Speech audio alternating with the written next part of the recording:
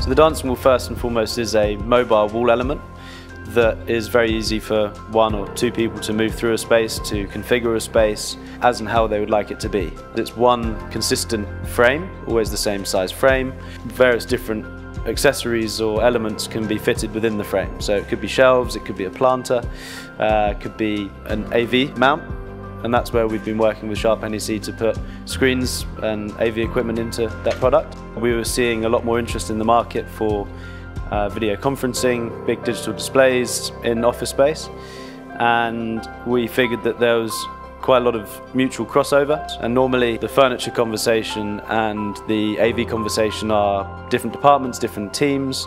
But we found that we were talking to the same customers. And it just made so much more sense to begin that conversation about integration of furniture and AV at a much earlier stage. And that allowed us to find the right solutions for both of our customers. How they wanted to use the dancing wall, what features it needed for them, what technology and, and, screens and elements they needed from Sharp NEC and then work together to, to provide a very smart solution for the customer. We found that the Sharp NEC products have worked very well. The quality of them, the design of them, it fits very well with our product. We believe very much that the quality of products and design has a profound impact on our lives through creating nicer spaces around you.